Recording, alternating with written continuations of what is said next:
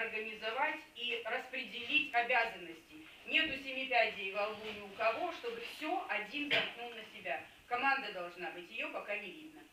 То есть это вопросы, ваше отношение к КДС, и мы бы хотели видеть более серьезный подход к команде, видеть команду.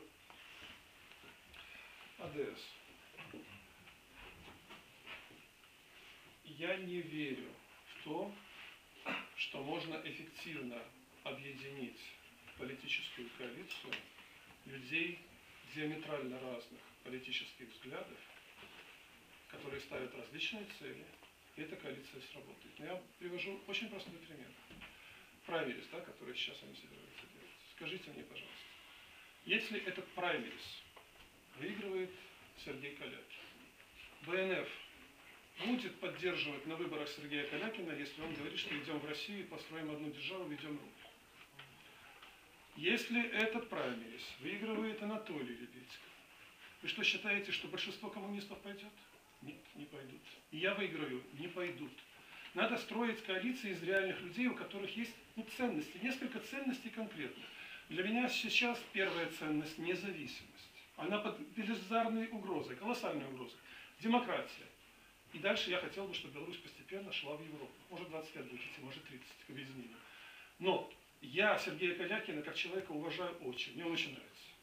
Но я никогда, никогда, если бы я участвовал в праймерис и проиграл бы Сергея, я никогда, я не могу дать слово перед праймерис, что я буду за человека любого идти. Тогда какое Потому что моя цель- что его все равно не будет? Нет, объединять можно не всех, а тех, как Анатолий Лебедько любит говорить, одной группы крови. Вот у него есть такая фраза крылатая в последнее время.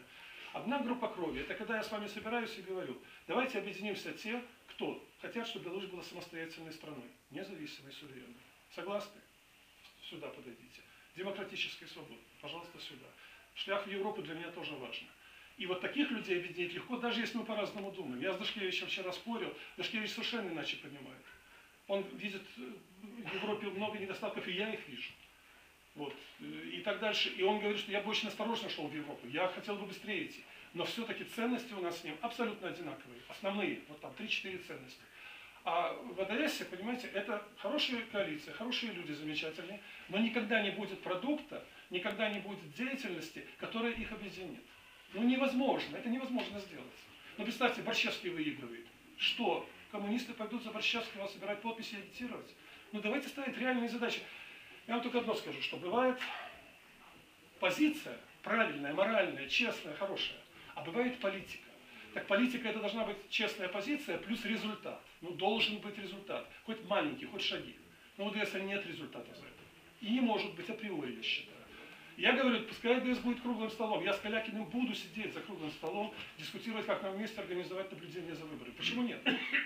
Но говорить, что давайте соединим нас, и мы не знаем, кто победит, и куда он поведет, нам не важно, лишь бы не было Лукашенко. А меня лишь бы была страна. Вот тут большая разница. Лишь бы была страна. Я таких хочу объединить, которые за страну. Вот большая разница.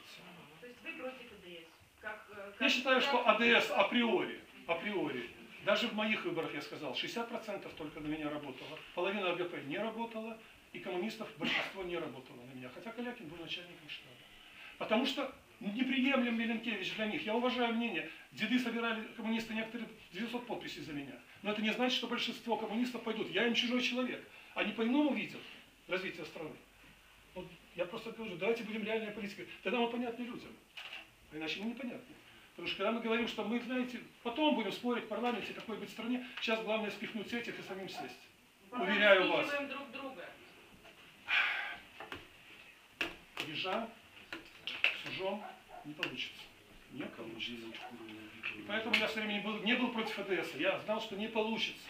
Не получится с АДС реальной коалиции, способной на реальные дела. И не получилось. И не потому, что я такой гениальный предсказатель, а что это реальная ситуация.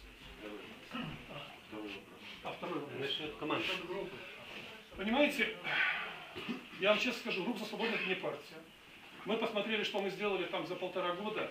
Там сотни общественных дел по всей стране. И социальных, и культурных, и других. Мы пытаемся скоординировать работу многих-многих просто активных людей. Приходит время выборов, ну вроде я уже там как политик, если претендую на что-то там. Ну давайте скажем, есть политика в стране? Один политик в стране. Политика это конкуренция, борьба за власть. Есть борьба за власть, если выборов нет? Мы с вами, мы с вами борцы за свободу, за права человека. Да, слава богу, еще не диссиденты. Не диссиденты. Поэтому в политике мы ну, больше всего время выборов. А так мы гражданские деятели, общественные деятели, и делаем эту всю работу. Поэтому рух за свободу, когда вы говорите, должна быть программа, это не политическая организация, это Меленкевич должен иметь, если пойдет на выборы. Но рух за свободу это объединение гражданских инициатив по всей стране. И немало сделали, особенно локальных всяких вещей. Так,